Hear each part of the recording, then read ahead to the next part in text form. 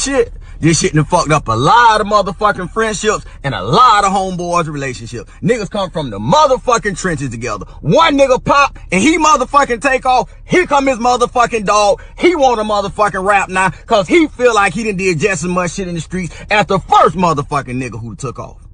Now he put his motherfucking music out there and people ain't fucking with it the same. Now he got a problem with every motherfucking body. Now niggas ain't keeping it real. Now niggas then switched out. Nigga, you can't motherfucking rap.